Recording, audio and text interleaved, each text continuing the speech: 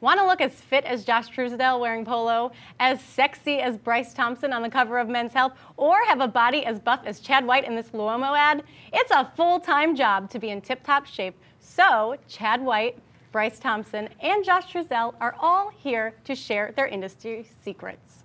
Welcome, guys. Thanks for Thanks for being here. Are you kidding me? Please tell me it's hard, though. Please. Yeah, of course it is. It's constant, constant workout. You got to keep at it, right? It's also about maintenance, balance between the diet and the training.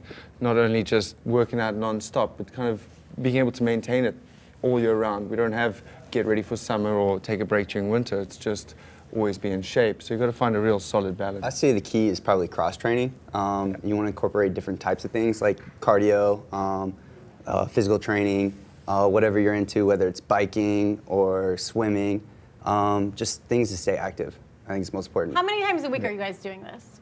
And for how many hours a day?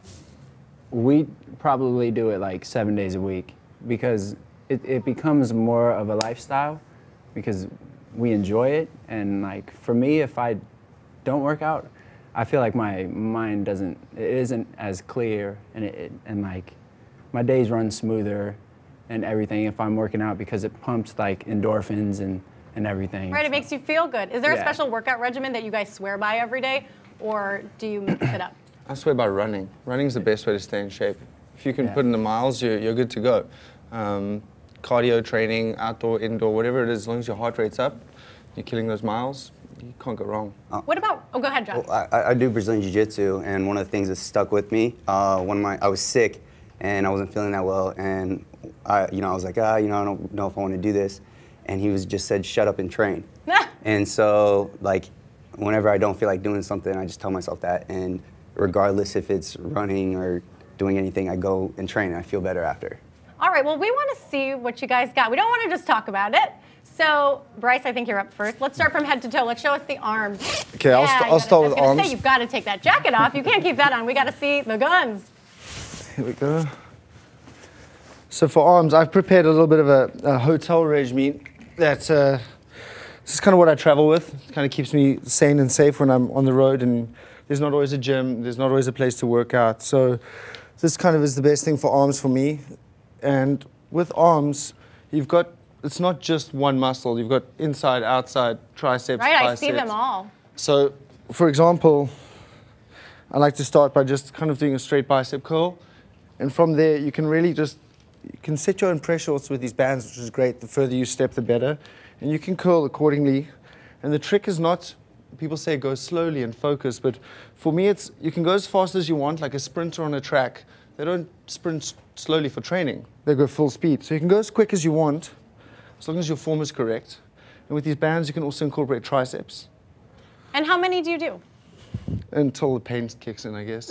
Until it hurts. Yeah, when it That's hurt, great when it hurts, you do a few more sets and then you call it a day. Then you know it's working. Yeah, and, and it's important to get your form right and to get your balance. It's all about being balanced. You don't want to be too far forward, too far back, and be hard on yourself. And if you're into using weights, I see you guys got me some weights here. That's right. You can also focus on twisting right out and bringing it right up. That'll get you a proper shape to the arm and back. And once again, you want to do forearm this way, hand down, hand up, and also hammer curls, which is just straight up and down. But a lot of people use their back, and you don't want to use your back. Yeah, notice You he's don't wanna isolating all the swing way it. through. Yeah, So isolate the muscle to make sure. Yeah, a lot of people kind of get involved in it, which is it's a big mistake. Just stand nice and steady, bend your knees if you need to, and you can really just focus on the arms. It's better if to you're drop the weight if you're cheating. Yeah. You want to drop the weight, even if you're doing no weight. Like it's better to get the form right because Right, otherwise you're not doing anything. That's it. Okay, Josh, you were mentioning the back. Don't don't cheat with the back. So let's see what you're actually supposed to be doing with your All back. right, well, I, I like to incorporate like full body mo- movements, uh, things that re- are like real life that you're going to be able to utilize later. Instead of a lot of people refer to them as beach muscles. Uh, you know, where you're just sculpting. Sculpting. It's like I like to have functional strength too. Um, so uh, it was actually a combination between um, back and chest. And uh, basically, what you do is you just do a regular push-up into a traditional row from the ground. So you want to get part your legs a little bit, and you want to go down. and You want to do a push-up. Now, when you come back up, come through and pull through a row. So you're combining two workouts, and which uh, also incorporating a plank. So you're hitting everything throughout your body. Brilliant. So you come back down and just do that with the other arm. and you just do it the same way you would do anything else.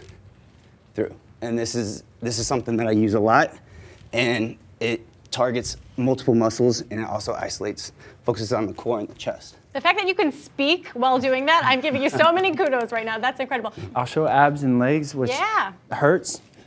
People don't like to do them, but I mean, I, for a good house, you need a good foundation. And for me, I like to do squats uh, and lunges for the legs and like for your butt. If you want to like have a good stable like core, it also works everything. But with no weights, like your feet are a little further than your shoulders width apart. And with no weights, I, I like to go with my hands above my head and just go straight down with your back straight. Because if you go over, it's going, you could hurt your back if you have like too much weight on your back. But if you go with your, your, your back straight up and go up to parallel, And, And this then is at the the one t- all the ladies want to know too, because it's good for the thighs. Yeah, and then so that's a squat, and then lunges. I like to have my hands up here, and you do a lunge, and you, you come with your your knee down to parallel, and you squeeze with your butt and your thighs at the same time, which this is kind of hard to You're balance. squeezing right now. I can tell you're if you squeezing. notice, his knee his knee doesn't go over his toes ever when he's squatting or when he's lunging. Yeah, So you- it doesn't put pr- pressure on the knee. Because if yeah, if I do it too, if I go like that, that's that could hurt my knee because that's improper. So if your foot goes out far enough and up, and that'll work your butt, your thighs, your calves, and your core. And then you could add weights if you want, like that. I mean, that's harder. And some guys training, they go like this and come up, and that's core. That's everything stabilizing. And it's cardiovascular because your thighs are such a big muscle. They requires so much blood and oxygen. That's why you're always out of breath doing squats and lunges because it actually gets your heart rate higher than any other muscle group that I can think of. I'm That's sweating. great tips. Okay, I know we've talked a lot about working out, but come on, Chad, you got to sit back down because what we really want to know is what the heck you guys eat. Is there is Oh. there like any sort of rules that you absolutely follow, like uh, on a daily basis? Your number one like Number, number one rule for me is stay away from starches. It's not carbohydrates that are the devil, it's starch. Any kind of white flour or white rice, pastas, breads, um, kind of anything that takes a long time to get off the system or out of the body, stay away. Uh, high burning foods are like your vegetables, your, your lean meats. Um, and there are grains like a, a whole grain rice or, I mean, sorry, a wild rice or something like that that really gives you energy, but it also comes off quickly. It doesn't store on the body. You can eat them and not have to work out the same day. Su- sugar is a big one. Yeah. The devil. Yeah, yeah, sugar just kills. Like, it'll leave you so tired after a workout. I mean, you have a big spike right off the bat, but then, you know, quickly it, it fades away and you're left drained. And my problem is I eat cookies and stuff like that, like late at night, and it's true, like I really do. And it's the hardest thing for me to get away, and I know it's my biggest vice. Like, that and eating late is eating late is so bad for you. Like, you want to eat no no more like three hours before bed. Yeah, give your body time to digest the food before you fall asleep and it goes into storage. Also, a big kick is sometimes having a coffee before you work out. It's great. It's proven to work wonders. Gives your heart rate a kick. That's my number one thing is I always put in a coffee before a workout. I noticed that um, whenever I'm working out a lot during the day, I crave the things that my body needs to replenish itself. So if I get done with a big workout, I don't want to go eat McDonald's. I'm like, where's a, I need chicken breast and I need some vegetables, like right now. And you just start craving the items that you need. Um, You also don't want to punish yourself. You don't want to work 45 minutes on a treadmill to go and put a burger in and throw it all away. You've just hurt your body. You've just been through that. You know, don't throw it all away. Stick with the diet, your broccolis, your vegetables, drink a lot of water, and try and pH balance your system. So if you're eating a lot of proteins, you've got to get the greens in to balance out. Otherwise, you become very acidic, and it shows in your skin. And you fatigue, you don't sleep well, all because your, your balance is off. Even if you're eating lean, you could be going on a sliding scale. So that's why sometimes you see those really big bodybuilder guys in the gym and they've maybe got bad skin or something. It's because their protein levels are too high and they're not balancing out.